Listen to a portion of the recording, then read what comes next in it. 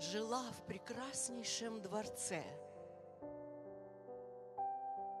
И из окна увидела однажды прохожего с проказой на лице.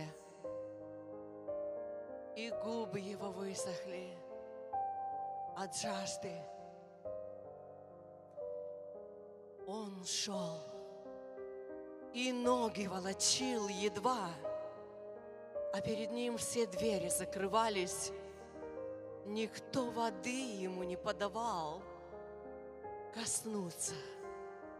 Прокаженного боялись. Любовь через оконное стекло недолго на прохожего смотрела, ему уже плохо, мыслью обожгло. Ведь в сердце у любви любовь горела.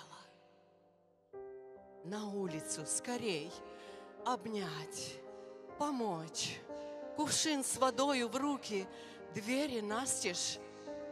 Смотреть на прокаженного не в мочь, как жалок, как убог и как несчастен. По взгляде у него застыла боль, и сердце у любви все громче билось. К прохожему приблизилась любовь, не только воду предлагая, милость. «Пойдем со мной», — сказала, — «во дворец. Есть у меня бальзам для ран и пища. Страданиям твоим придет конец. Ты больше никогда не будешь нищим. Пойдем». Любовь прохожего звала. Ну, кто бы во дворце жить отказался? Открыты двери, и любовь ждала. Но прокаженный громко рассмеялся.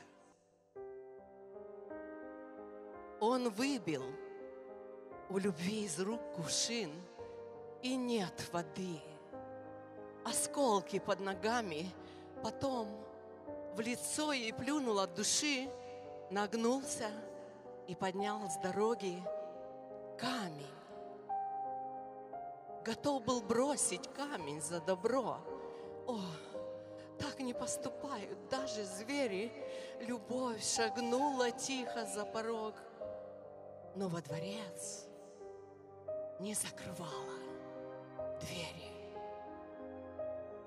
А прокаженный ей во след кричал, «Я проживу и без твоих подачек, и весь в проказе. Лучше б он молчал».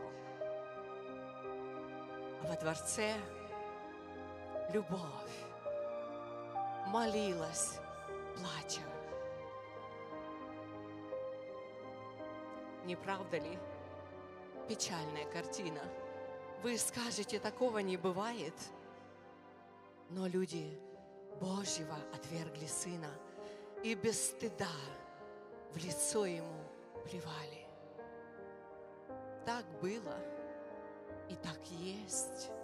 Любовь Господню, увы, не каждый принимает грешник в лицо любви, плюют еще сегодня, еще хотят ходить в своих одеждах. Проказою греха еще гордятся, оборванные по дорогам бродят, ни ноготы, ни грязи не стыдятся и мимо Божьей любви проходят. Христос на прокаженных смотрит с болью. Не уходите, Богу можно верить, готов Господь вас окружить любовью. И во дворец еще открыты двери. Он исцеление и милость предлагает. Такие и не снились вам чертоги.